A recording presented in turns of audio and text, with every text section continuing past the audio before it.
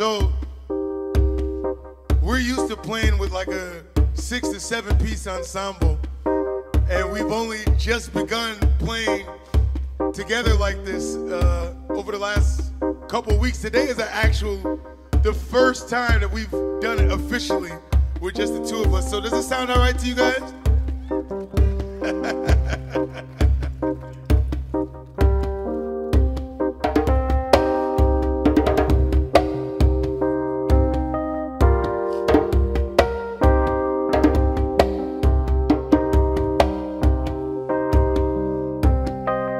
The original song.